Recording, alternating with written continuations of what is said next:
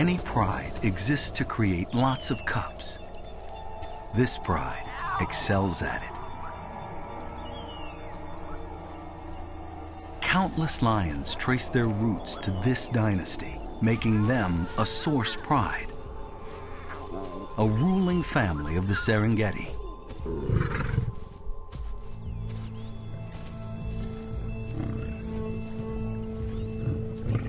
Now this great pride comprises eight adult females,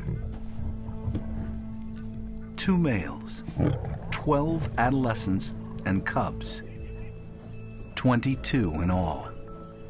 They are a super pride.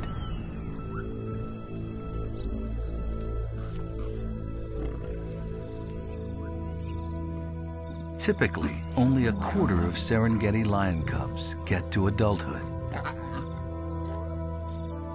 They must make it through a gauntlet of perils. Disease and starvation hit hard. Other predators present a more violent threat.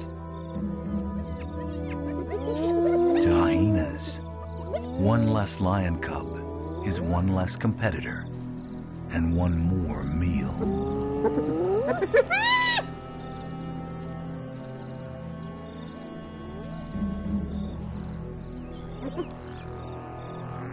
To increase the cub's chances of survival, new mothers join forces and form what's known as a creche.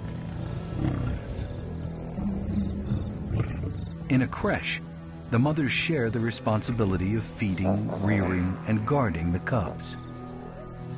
Lions are the only wild cats that raise their young this way.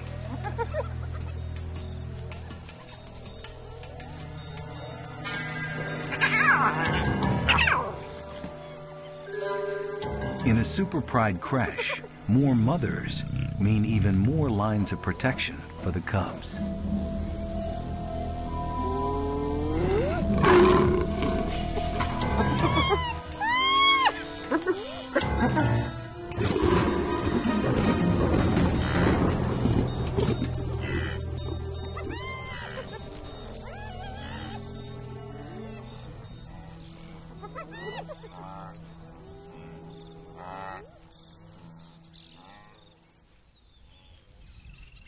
But these mothers face a dilemma. They need to protect their cubs from other predators, but they also must leave them to find prey. And the cubs are too small to join their mothers on the hunt or defend themselves at home. The creche provides the solution. Mothers can go hunting while their cubs remain under the watchful eye of the other lionesses.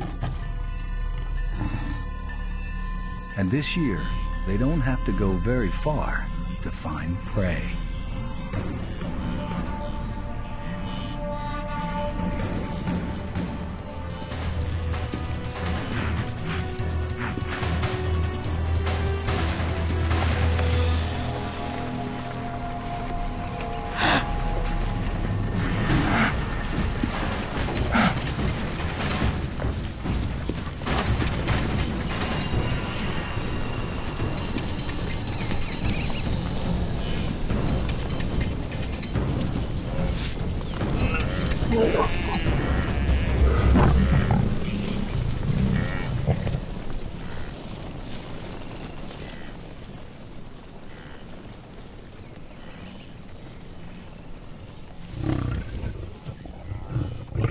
The migration feeds the new mothers and helps them produce milk for their cubs. But by now, some of the cubs are old enough to eat meat.